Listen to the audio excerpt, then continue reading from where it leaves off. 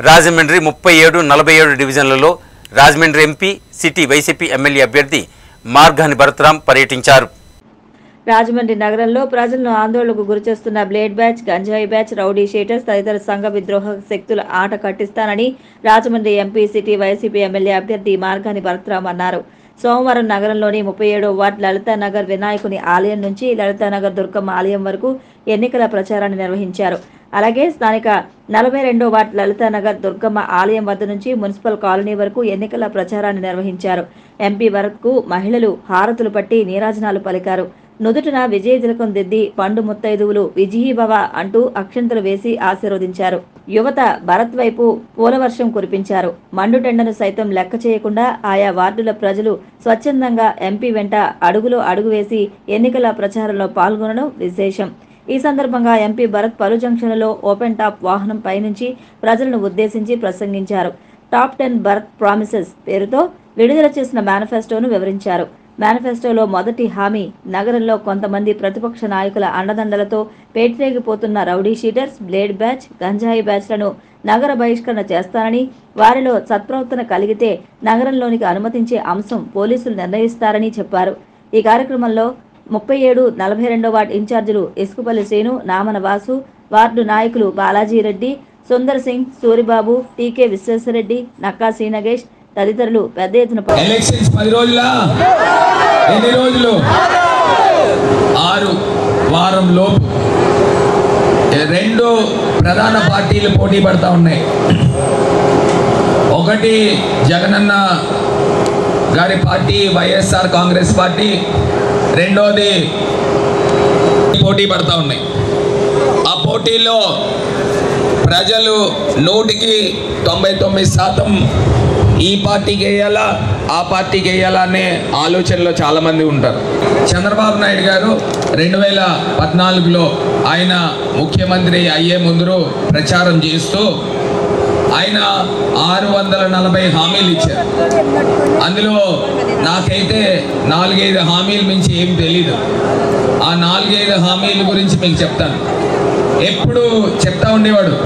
ఏమని చెప్తా ఉండేవారంటే జాబ్ కావాలంటే అమ్మా చెప్పాలా? అన్నాడా లేదా? మరి బాబు వచ్చారు. జాబులు వచ్చాయా? ఏమ్మా మీ పిల్లలకి వచ్చినట్టు ఉన్నాయి వేల రూపాయలు. నిరుద్యోగ భృతి ఇస్తానని చెప్పాడు. చెప్పాడా లేదమ్మా? రెండు వేలు ఇస్తా అన్నాడు. సంవత్సరానికి ఇరవై నాలుగు వేలు. ఐదు సంవత్సరాలకి లక్ష ఇరవై వేలు. ఆరు కోట్లలో ఒక్కళ్ళకైనా ఒక్కళ్ళకైనా లక్ష ఇరవై వేల రూపాయలు డబ్బులు ఇస్తే నేను రాజకీయాల నుంచి వదిలి వెళ్ళిపోతాను. ఎవరికైనా ఇచ్చాడమ్మా? ఇచ్చాడా. మరి ఇదొక అబద్ధం. మూడోది ఇక్కడ చాలా మంది మహిళలు ఉన్నారు కదా డ్వాక్రా మాఫీ చేస్తానని చెప్పాడు. చేసాడమ్మా? ఒక్కరికేం చేసాడా? ఏమ్మా మీకు వచ్చిందా? వచ్చిందా? ఆవిడకి వచ్చినట్టుంది. ఏమ్మా వచ్చిందా? లేకపోతే లేదు అని చెప్పండి అమ్మా మళ్ళీ ఏం చేయరు? ఎవరేం చేస్తారు? డ్వాక్రా మాఫీ అప్పుడు ఒక అద్భుతమైన పథకం చెప్పాడు. అమ్మాయి పుడితే పాతిక వేలు. మహాలక్ష్మి అనే పథకం. ఎవరికైనా ఇచ్చాడమ్మా ఇంట్లో అమ్మాయిలు పుట్టారు కదా పాతిక వేలు ఒకరికైనా వచ్చిందా? అది రాల. అది రాల. మరి చంద్రబాబు నాయుడు గారు వాగ్దానాలు చేస్తున్నాడు ఒకటి నిలబెట్టుకోవట్లేదు. అన్ని అబద్ధాలు ఆడుతున్నాడు. మరి చంద్రబాబు నాయుడు గారిని ఏమని పిలుద్దామమ్మా?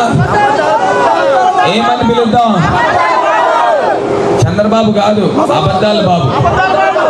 సరే ఈ అబద్ధాల బాబు గారిని పక్కన పెడితే జగనన్న దగ్గరికి వద్దాం. మరి జగనన్న అమ్మఒడి ఇస్తానన్నాడు. ఇచ్చాడా లేదా?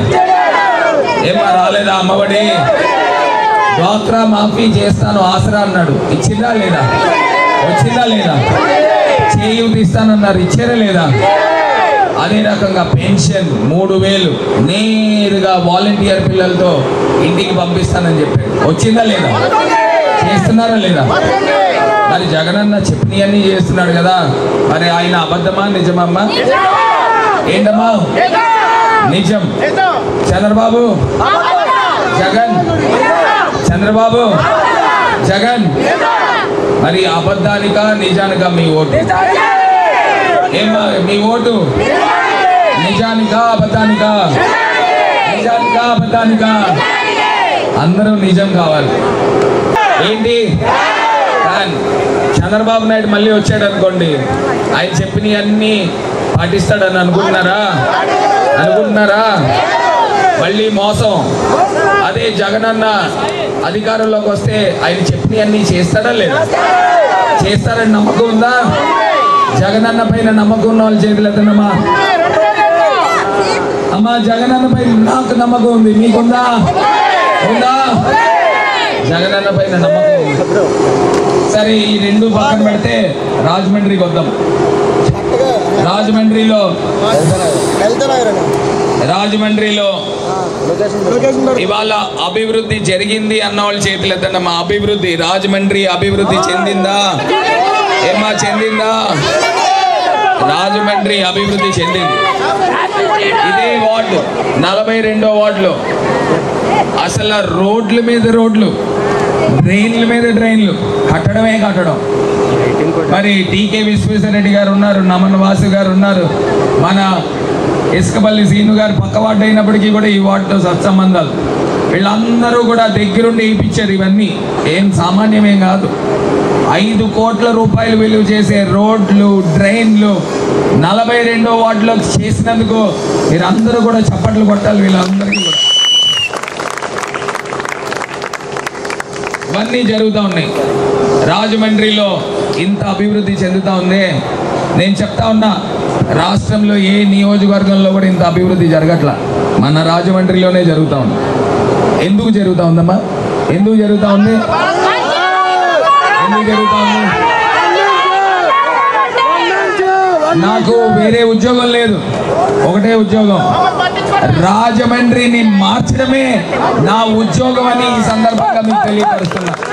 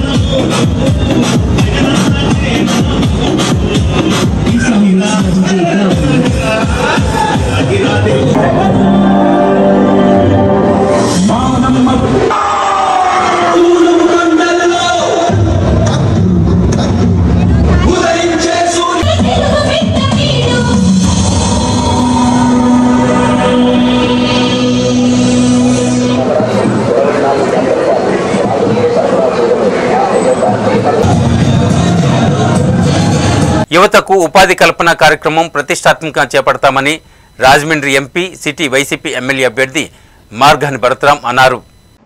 రాజమండ్రి ముప్పై ఏడు నలభై రెండు డివిజన్లలో ఎమ్మెల్యే అభ్యర్థి భరత్రాం పర్యటించారు. ఈ సందర్భంగా ఆయన మాట్లాడారు. నగరంలోని నిరుద్యోగ యువత పదివేల మందికి ఉద్యోగ ఉపాధి అవకాశాలు కల్పిస్తారని స్పోర్ట్స్ హబ్గా రాజమండ్రి నగరాన్ని తీర్చిదిద్దుతానని హామీ ఇచ్చారు.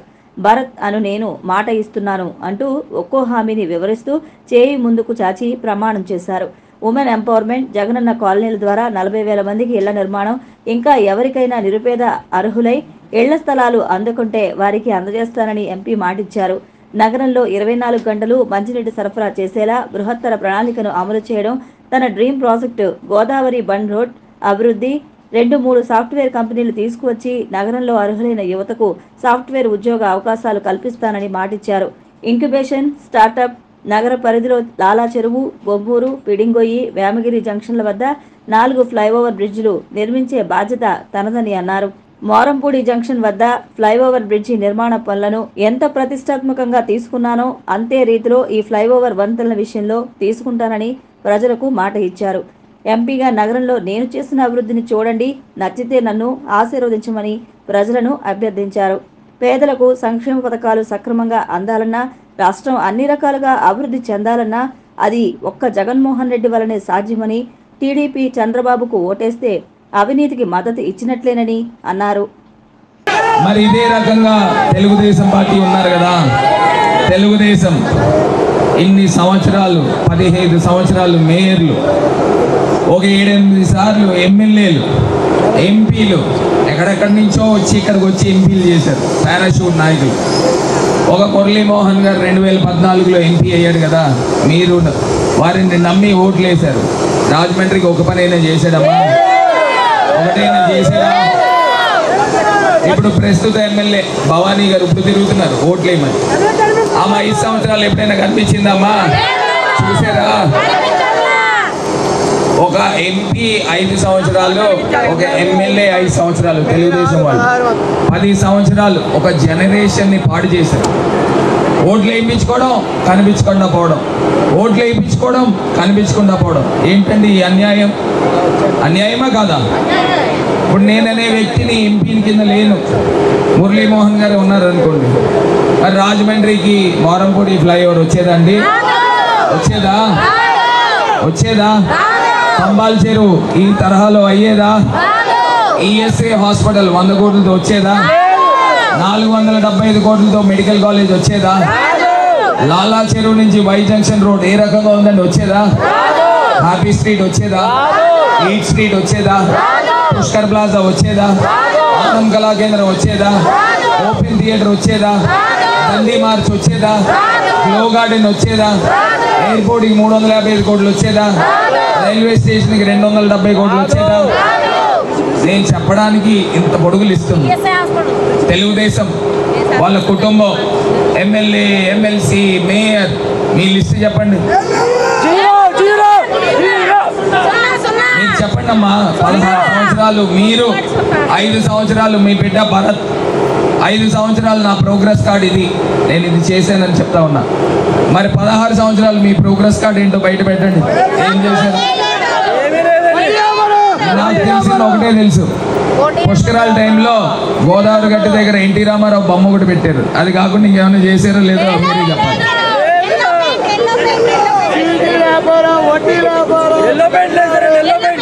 ఇలాగా మనము ఎందుకు ఓట్లు వేయాలమ్మా తెలుగుదేశానికి? ఎందుకు వేయాలా?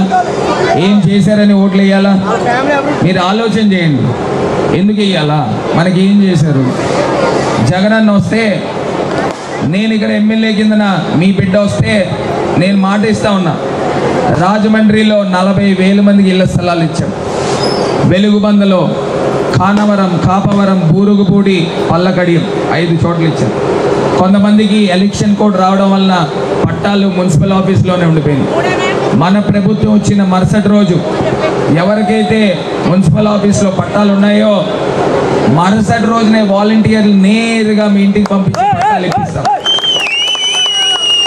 మన ప్రభుత్వం వచ్చిన వారం రోజుల్లో మీకు ఎక్కడైతే పట్టాలు ఇచ్చారో ఆ స్థలాలు చదును చేపించి రాళ్ళు పాతి అక్క నీ స్థలం ఇది అని నేను దగ్గరుండి నీకు స్థలం అప్పచెప్పే బాధ్యత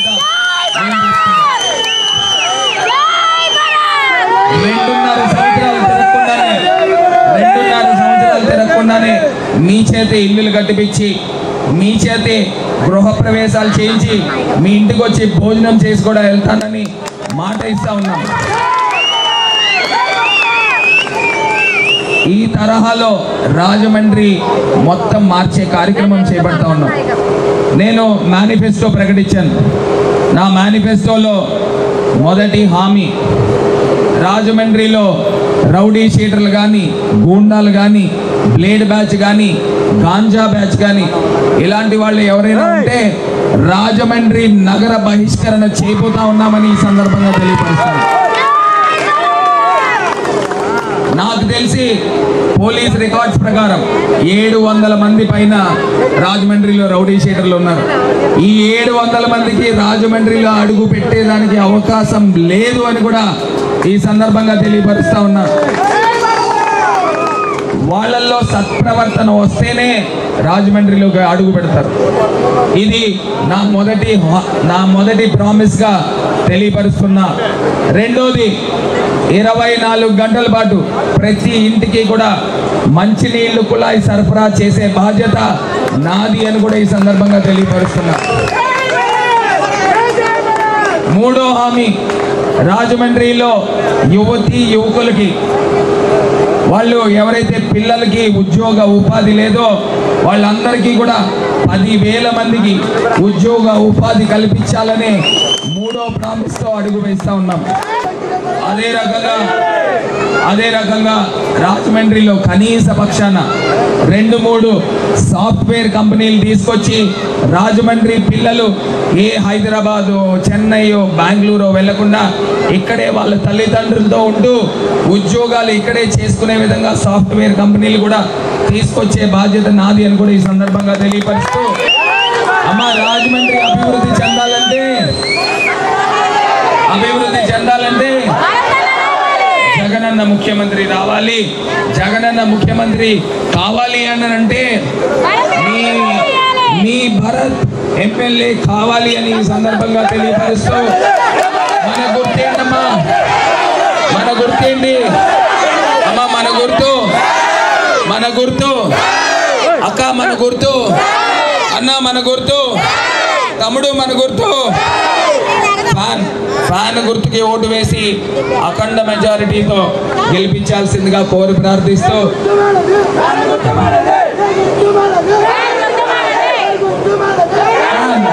ఫ్యాన్.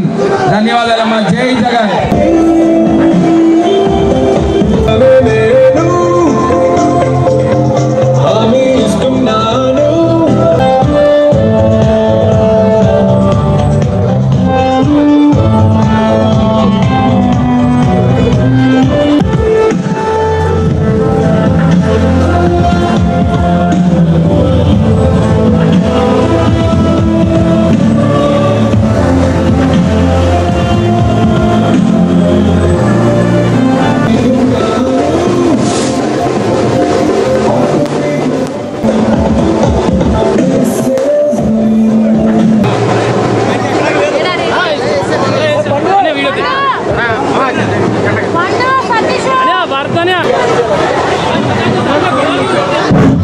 వార్తనే నీ కూడా